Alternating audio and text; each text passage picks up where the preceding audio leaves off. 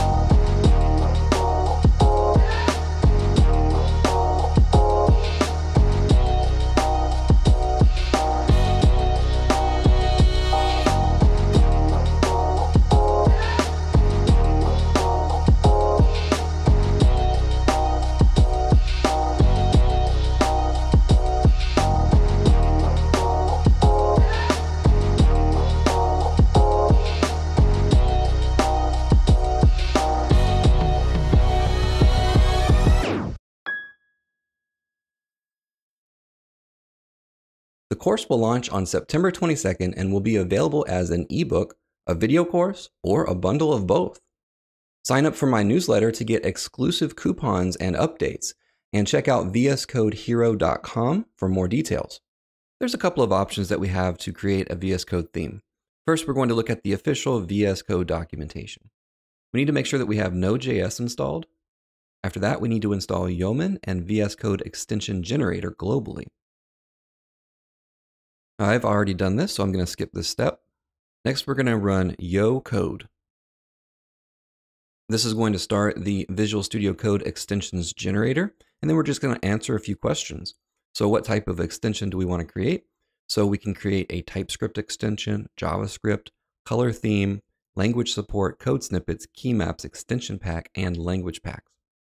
So we're going to use our arrow keys and we're going to select color theme and then hit enter. And then do you want to import or convert an existing color theme? So we're going to say no, start fresh. What's the name of your extension? I'm going to say demo theme. And then the identifier, we'll hit enter to select that. Description, we can add one if we want. Here's where we would type the name of the theme. And we need to enter something. So I'll just say demo theme. And then what is the base that we want to start with? Dark, light, or high contrast? So I'm going to select dark, and that's it. And we have our demo theme here. Let's go ahead and open this in a new project. I'm going to say code and then dot slash demo theme. So the main things that we'll be working on are the README, the package JSON, and then our actual theme. If we hit F5, we can run the theme as it is right now. So this brings up our debugger and in the other screen, it brought up the theme. So let me pull that over. And this is the default dark theme. So we can see at the top here, extension development host.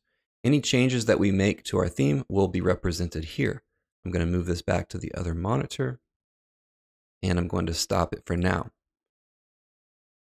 Let's go into our files. So let's open up our theme, close the terminal.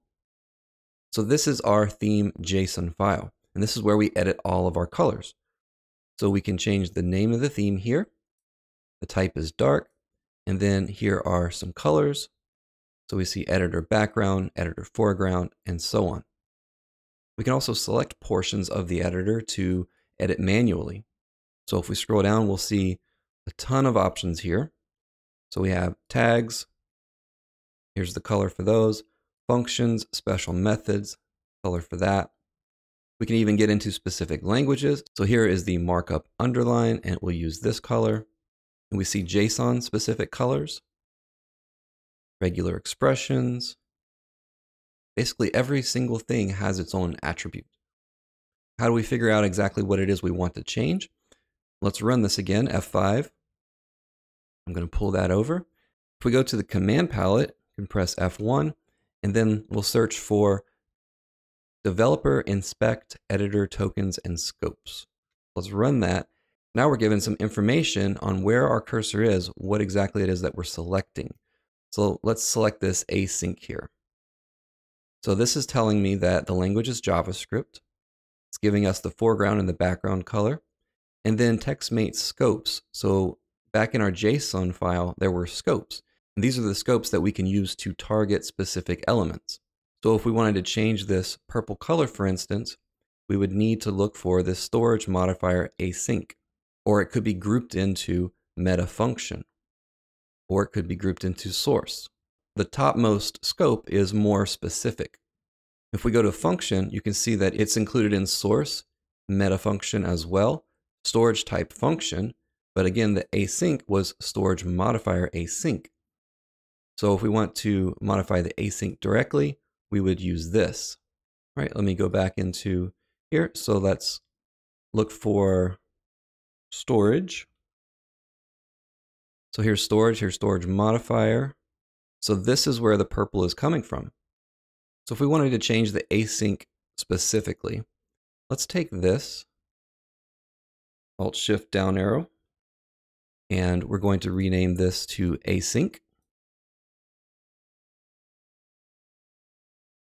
And the scope is going to be this storage modifier JSON. So let's copy that. And then we'll paste that here. And we don't need the JS. Now let's change this color. Uh, let's go to a bright yellow color. All right, I'm going to save this. And then I'm going to go back to our development environment. And now we can immediately see the change happened. So it does take quite a bit of effort to go through and change all of these little details. Every single thing has a scope.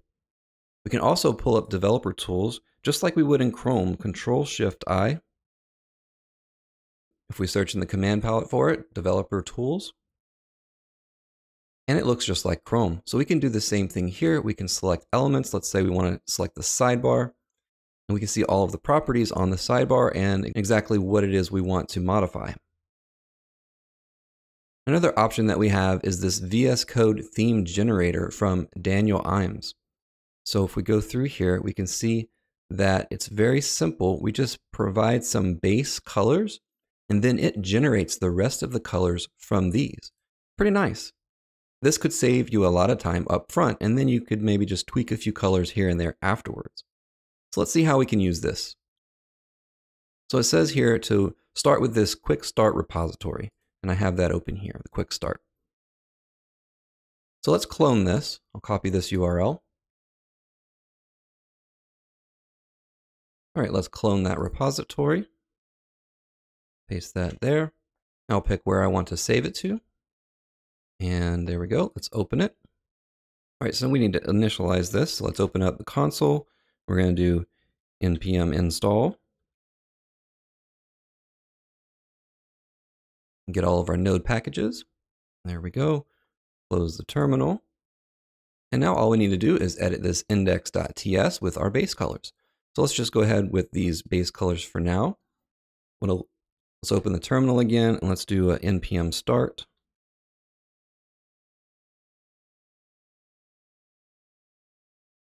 And now it's generated our theme. So we have this theme JSON here, and we can now use this theme JSON. And there we go. So if we hit F5, we run our theme, and that's what it looks like. So let's change a few colors around and see what we get. Let's stop that and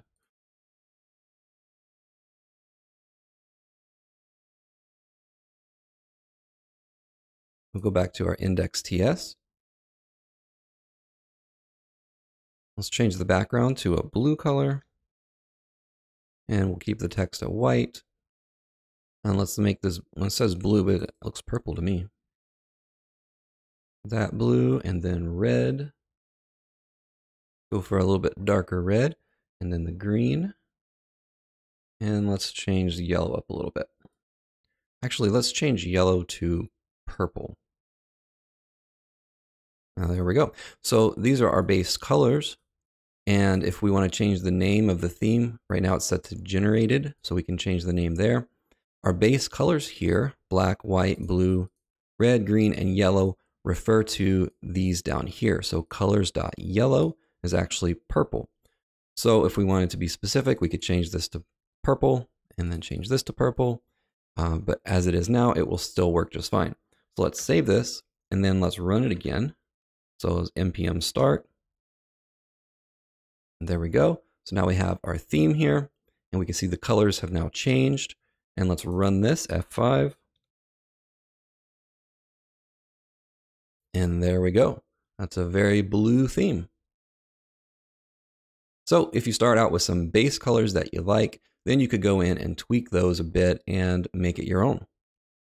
All right, so now it's time to package and publish your theme.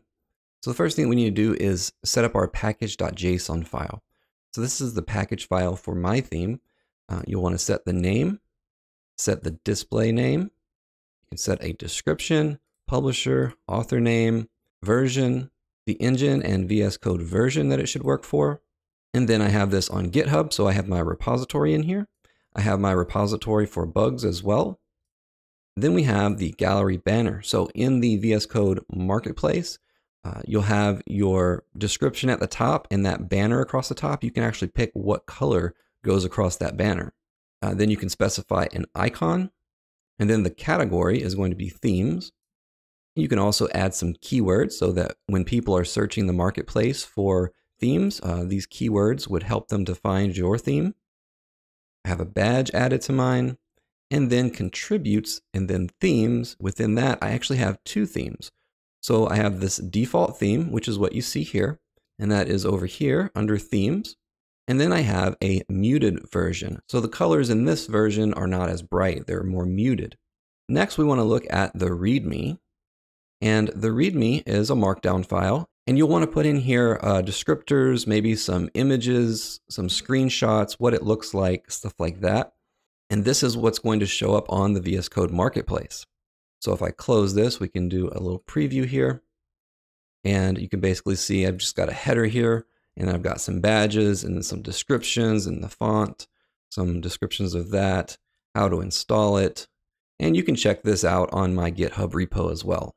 All right, once you've got those set up, now we're ready to package. So to package this, let's open up the terminal. So now we need to install VSCE, which is Visual Studio Code Extensions.